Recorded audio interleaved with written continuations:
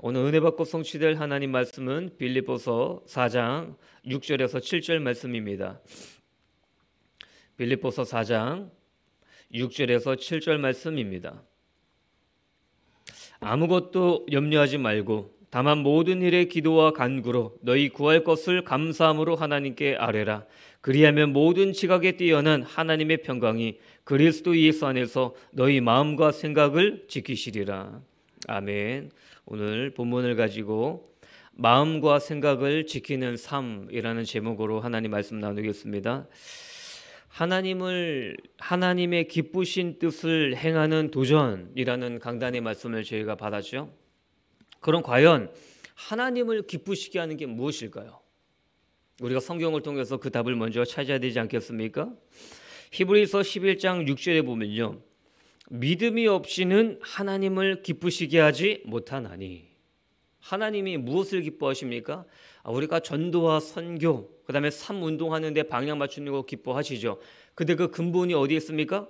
우리의 믿음에 있다는 거예요.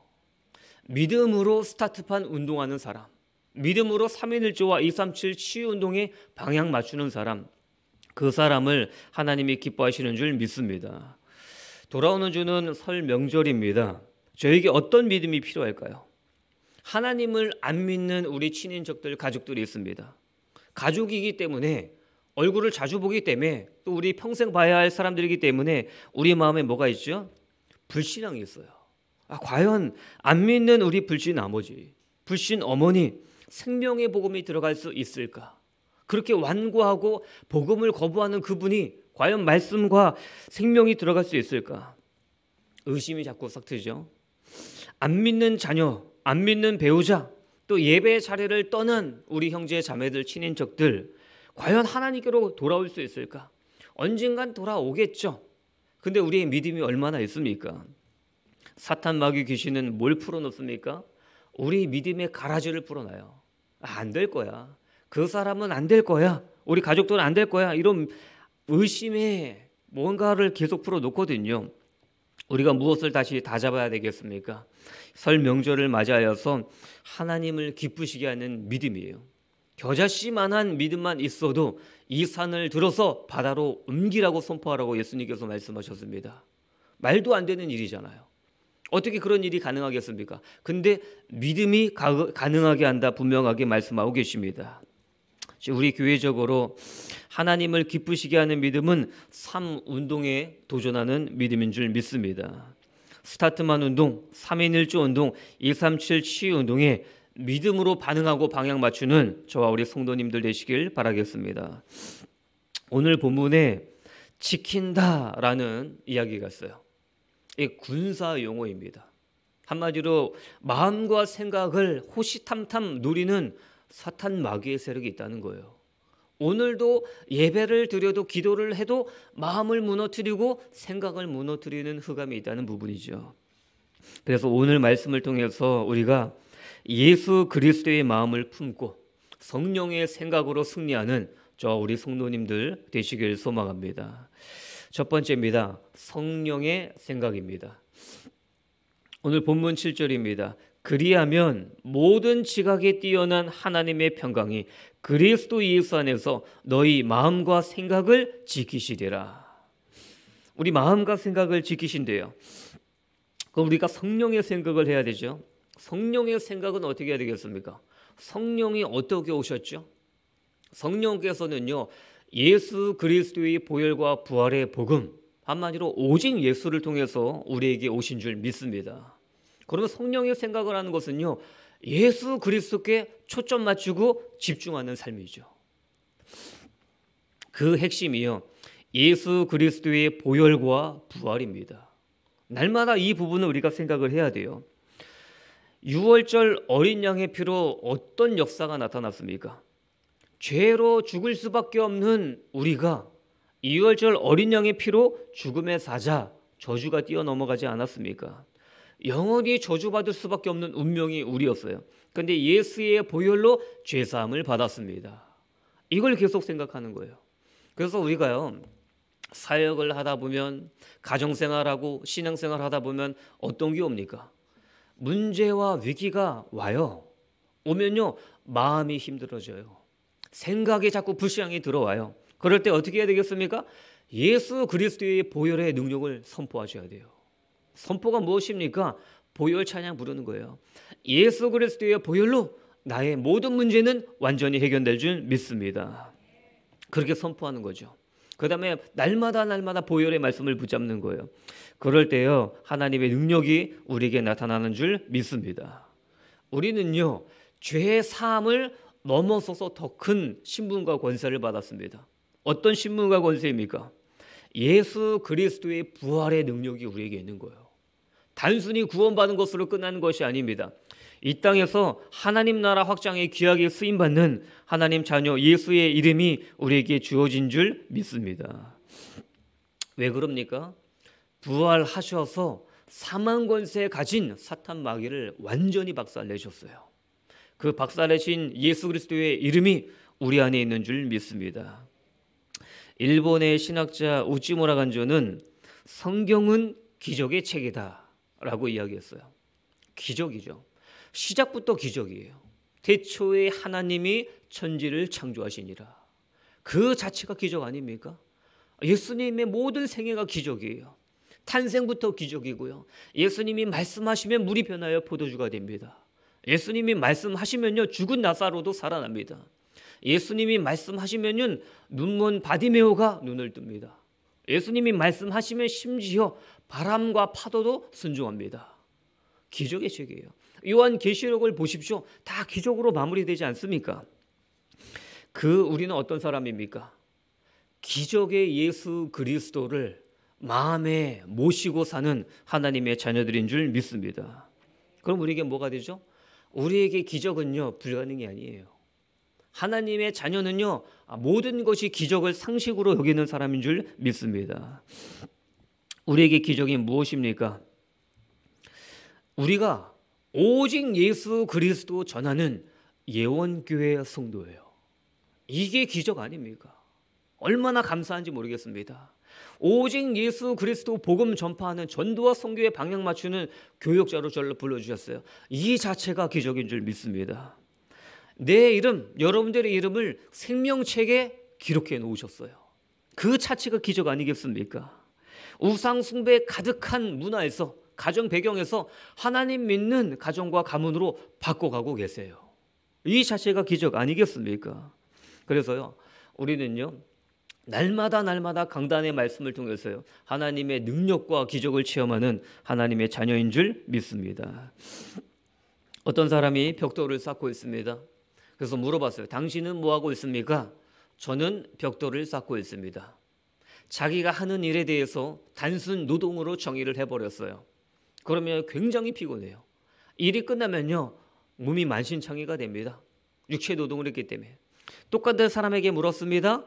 나는 지금 교회를 짓고 있습니다. 자기가 하는 일에 대해서 목적과 의미를 부여하고 있어요. 그 사람은 좀 덜 피곤하겠죠. 똑같은 사람에게 물어봤습니다.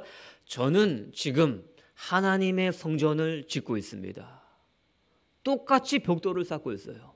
근데 자기가 하는 일에 대해서 어떤 의미를 부여합니까? 하나님의 일을 하고 있다는 거예요. 그러면요, 그게 무엇입니까? 천직이 되는 거예요. 하나님의 주신 그런 부분 아니겠습니까? 여러분, 저희가 하는 삶 운동도 마찬가지입니다. 아, 어떤 생각을 해야 됩니까? 어떤 생각이 성령의 생각입니까? 아, 예원교회는 쉬질 않아. 아, 우리 교회는 쉬질 않아. 라스트 천 끝나면 좀 쉬어갈 줄 알았는데 계속 뭐 스타트만 뭐 3인 1조 237 치운동 그거는 단순 노동 굉장히 사역이 필요해요. 그런 생각으로 다가오면요. 우리는 어떤 생각을 해야 되겠습니까? 지금 모든 목회자들과 교회들이 뭐라고 합니까? 3년 코로나 팬데믹으로 인해서 지금 현상 유지도 불가능하다고 보고 있어요. 지금 이렇게 어려운 시대, 더 도, 대부분의 온라인 예배를 드리고 돌아선 시대에 무슨 전도 집회냐? 아, 무슨 스타트만 우동이냐? 지금 대부분 교회가 그러고 있습니다. 근데 저희 교회는 어떤 교회입니까? 새 가족들을 찾아가고 장결자들을 찾아가고 3인 1조를 통해서 다시 영혼들을 예배 자리로 앉히는 그런 하나님의 일에 귀하게 쓰임 받는 저와 여러분들인 줄 믿습니다. 그렇게 우리의 사문동과 사역을 생각하면요. 얼마나 감사합니까? 하나님이 능력과 오력을 부어 주실 수밖에 없겠지요. 성령의 생각은 무엇입니까? 하나님은 우리가 모르고 있는 수를 굉장히 많이 갖고 계신 분이십니다. 그래서 나온 용어가 있어요. 신의 한 수. 신의 한 수를 두시는 분이 하나님이세요. 우리는 문제 오잖아요. 사건 오잖아요. 막막해요. 아, 어떡하지? 내 인생 어떡하지? 하나님의 능력은 있는 건 알겠는데 과연 나 내 내 문제까지 해결해 주실까?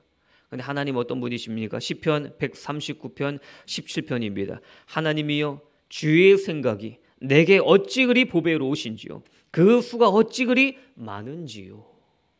우리는요 문제 오면요 막막해요. 그런데 성령의 생각을 하는 사람은 어떻습니까? 지금 나는 방법이 생각나지 않습니다. 저는 이 문제를 해결할 방도 없습니다. 그러나 하나님께서는 반드시 많은 수를 갖고 계신 줄 믿습니다. 그래서 좌절하지 않아요. 낙심하지 않아요. 이게 성령의 생각을 하는 사람의 생각인 줄 믿습니다. 그걸 한 게 모세 아닙니까? 수많은 성경의 챔피, 믿음의 챔피언들 아니겠습니까? 지금 출애굽 했습니다. 이제 꽃길만 펼쳐질 줄 알았는데 앞에 홍해 바다가 있습니다. 양 옆에는 협곡이에요. 뒤에는 애굽의 전차 부대가 쫓아오고 있습니다. 많은 사람들이 불신앙했어요. 절망했어요. 근데 모세가 뭐라 그러죠? 너희는 가만히 있어서 지금 오늘 여호와께서 너에게 행하시는 일을 봐라. 놀라운 믿음의 고백 아니겠습니까? 여러분 이 믿음이 어디서 나왔을까요? 이 믿음이 어디서 나왔을까요? 모세가 처음부터 이렇게 대단한 믿음이 있었습니까? 아니에요. 모세가 80세에 시내산에서 하나님이 부르실 때 뭐라고 했습니까? 보낼, 보낼 만한 자를 보내십시오. 저는 아닙니다. 저는 말을 잘 못하는 사람입니다. 그렇게 시작을 했어요. 근데 하나님께서 모세에게 하나하나 체험하게 하셨어요. 하나님의 능력을. 지팡이를 던져봐라. 갑자기 뱀이 돼요. 다시 붙잡아라. 다시 지팡이가 돼요. 그 작은 하나님의 능력 체험. 그게 쌓이고 쌓이고 쌓여서 어떻게 됐습니까? 홍해 바다 앞에서 하나님의 말씀을 선포하는 믿음의 사람이 된 거예요. 하나님은 반드시 해결할 수 있는 수를 갖고 계시다. 그런 믿음을 갖는 저와 여러분들이 되시길 바라겠습니다. 그래서 중요한 게 강단 말씀이에요. 강단 말씀 붙잡고요. 우리가 오늘 하나님 이 말씀을 통해서 나에게 작은 응답을 체험케 하여 주시옵소서. 작은 응답을 하나님이 체험케 하셨어요. 영혼 구원의 역사를 나, 를 통해서 사용하셨어요. 뭔가 문제와 위기가 있었는데 하나님께서 피할 길을 열어 주셨어요. 그 작은 은혜와 체험이 쌓이고 쌓여서 어떻게 됩니까? 너무나 중요한 순간에 모세와 같이 홍해가 갈라지라는 믿음의 선포를 할 수 있는 거예요. 그런 체험을 하는 저와 여러분들 되시길 바라겠습니다. 이게 강단에서 말씀하시는 하나님의 스케일인 줄 믿습니다. 두 번째, 마음 지켜내기입니다. 6절입니다. 아무것도 염려하지 말고 다만 모든 일에 기도와 간구로 너희 구할 것을 감사함으로 하나님께 아뢰라. 마음을 지키는 방법이 뭐라고요? 기도예요, 기도. 하나님 앞에 내 마음을 쏟아내려 놓는 것입니다. 우리가 하나님 앞에 문제와 사건 가운데 마음을 내려놓을 때 하나님께서 우리의 생각과 마음을 반드시 지켜주실 줄 믿습니다. 우리가 언제 마음이 무너집니까? 복음이 있어도 마음이 힘들 때가 있어요. 복음을 누려도 마음이 무너질 때가 있습니다. 우리는 육신의 몸을 입고 있기 때문에 한없이 연약하죠. 우리가 언제 무너집니까? 외로울 때. 나는 너무 외로워. 나는 나 혼자야. 나를 도와줄 사람이 없어. 그런 마음이 오면요. 마음이 한없이 무너져요. 현대 의학도 이를 뒷받침한다고 합니다. 뭐 심장 수술, 여러 가지 정신질환 이런 문제를 앓고 있는 사람이 수술을 했습니다. 그다음에 치료를 받고 있습니다. 그 사람을 병문안 가고 찾아가고 교회에서 신방하고 그러면요. 회복률이 4배 이상 증가한다고 합니다. 아무도 안 찾아간 사람이랑 그렇게 차이가 난다는 거예요. 그만큼 힘들고 어려울 때 나를 찾아주는 사람, 나를 위로하는 사람 그게 우리에게 굉장한 힘이 된다는 부분이죠. 이걸 우리가 어디에 적용해야 되겠습니까? 3인 1조 운동인 줄 믿습니다. 왜 3인 1조 운동입니까? 혼자 전도와 선교 잘 안 돼요. 우리를 방해하는 게 너무나 많습니다. 그러나 3인 1조 조를 이뤄서 나가면 어떻게 됩니까? 엄청난 역사가 나타나죠. 3인 1조가 함께 시간을 정해놓고 말씀 포럼, 기도 포럼, 현장 포럼, 전도 대상자를 위해 기도하고 장결자들을 위해 기도할 때 여러분 그때 엄청난 역사가 일어나는 줄 믿습니다. 성경이 증명하잖아요. 이스라엘 백성들이 출애굽을 했어요. 얼마나 기쁩니까? 출애굽이 뭘 의미하죠? 홍해 바다를 건넜어요. 뭘 의미하죠? 구원을 의미해요. 야, 우리가 애굽에게 잡혀 있었는데 우리가 예수 그리스도 유월절 어린 양의 보혈로 구원받았다. 구원받으면 뭐가 돼야 됩니까? 꽃길만 펼쳐져야죠. 근데 아말렉 전투가 첫 전쟁을 치르게 돼요. 애굽에 있었으면요 이 전쟁 없었어요. 지금 구원받고 하나님 자녀로 나왔기 때문에 아말렉 전투가 첫 전장이 펼쳐집니다. 그때 누가 싸웁니까? 여호수아가 싸우기 시작해요. 모든 사람들이 여호수아와 그 군대를 바라보고 있어요. 그때 할아버지 3인 1조 저희가 알지 않습니까? 모세, 아론, 훌 이 3인 1조를 통해서 하나님이 그 전쟁을 승리하게 만드세요. 이게 3인 1조의 영적인 의미인 줄 믿습니다. 오늘 본문의 바울이요. 인생 마지막 로마 감옥에서 사형 선고 받았어요. 그리고 죽음을 기다리고 있습니다. 늙은 바울이 친구이자 아들이면서 제자인 우리 디모데에게 빨리 자기 자신에게 오라고 편지를 합니다. 디모데후서 4장 13절입니다. 내가 올 때에 내가 드보와 가보의 집에 둔 겉옷을 가지고 오고 또 책은 특별히 가죽 종이에 쓴 것을 가져오라. 로마 감옥이 좀 추웠나 봐요. 겉옷을 갖고 와라. 그리고 뭘 가져오라고 합니까? 가죽 종이에 쓴 책을 가져오라 하는 거예요. 사도 바울 어떤 사람입니까? 감옥을 연구소로 바꾼 사람이에요. 우리에게 외로움이 찾아와요. 갑자기 직장에서 좌천될 수도 있어요. 뭐 라인을 잘못하는지 오해가 있어서 여러 가지 힘들어진 부분이 있을 수 있습니다. 가정에 문제가 왔을 수도 있어요. 옛날에는요, 너무 바빴어요. 너무 바쁘기 때문에 주일 예배만 가까스로 드렸어요. 근데 지금 너무나 많이 시간이 많아졌어요. 이럴 때 우리가 자칫 잘못하면 마음이 힘들 수 있습니다. 근데 하나님이 뭐라고 말씀하시는 줄 아세요? 이때 네가 들어야 할 메시지가 있다는 거예요. 우리가 들어야 할 설교가 있다는 거예요. 이때가 아니면 들을 수 없는 또 읽을 수 없는 책이 있다는 거예요. 이때가 만날 수 있는 사람이 있다는 거예요. 우리가 이 외로운 시간을 영적인 부분으로 채우는 저와 여러분들 되시길 바라겠습니다. 또 중요한 게 인간관계예요. 우리가 전도해야 되지 않았습니까? 우리가 한 영혼 한 영혼 살려야 되지 않겠습니까? 인간관계가 안 되는 부분이 무엇입니까? 예수님께서 말씀하셨어요. 네 이웃을 네 몸과 같이 사랑하라. 나를 사랑할 줄 몰라요. 아 나는 정말 한, 한심한 자야. 나는 정말 아 이렇게 연약해. 나는 정말 이런 자기 자괴감에 빠진 사람 인간관계 안 돼요. 나는 자기 소외감에 빠져서 안 됩니다. 그래서 우리가 무엇을 해야 되겠습니까? 내면 세계를 점검하는 예배와 영적인 묵상 속으로 깊이 들어가시길 바라겠습니다. 하나님의 말씀 안에서 나를 제대로 사랑할 때 모든 인간관계에서도 승리할 줄 믿습니다. 결론적으로 말씀드립니다. 마음과 생각을 지키고 더 나아가서 하나님의 기쁘신 뜻을 행하는 도전을 하시길 바라겠습니다. 마음과 생각을 지키고 강단 말씀 순종해 나아가는 거예요. 예수님께서요. 놀라운 이야기를 하셨어요. 반대로 세상적으로 말도 안 되는 황당한 이야기를 하셨어요. 마가복음 11장 23절입니다. 내가 진실로 너희에게 이르노니 누구든지 이 산더러 들리어 바다에 던져지라 하며 그 말하는 것이 이루어질 줄 믿고 마음에 의심하지 아니하면 그대로 되리라. 저에겐 아멘이죠. 근데 잘 보십시오. 산을 들어서 바다에 던져져라 믿고 말하면 그대로 된대요. 이런 황당한 이야기가 어디 있습니까? 말도 안 되는 이야기 어디 있습니까? 육신적으로 3차원적인 입장에서는 전혀 말이 안 되죠. 황당한 이야기죠. 근데 예수님이 뭐라고 하죠? 내가 진실로 너에게 이르노니 굉장히 강조하신 거예요. 이런 역사가 언제 나타납니까? 아까 모세와 마찬가지예요. 모세가 홍해 바다 갈라져라. 여호와께서 오늘 너희를 구원할 것이다. 그런 놀라운 믿음을 어떻게 이야기했겠습니까? 작은 은혜를 체험한 거예요. 작은 강단 말씀을 하나하나 체험한 거예요. 나의 작은 믿음을 통해서 어떻게 되심 어떻게 됩니까?